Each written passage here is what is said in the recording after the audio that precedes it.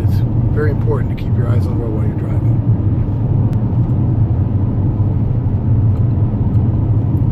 That's my son back there, Bailey. I can carry a conversation with him and drive at the same time. Hi, Bailey. How you doing? Doing all right? All right. It's good to see you.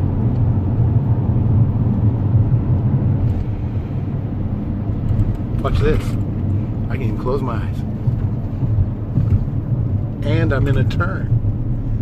Is that amazing? It's new technology. Allows you just keep driving. it's amazing. Of course, I don't really have a wheel up here. And it works better when you have a really good driver over here.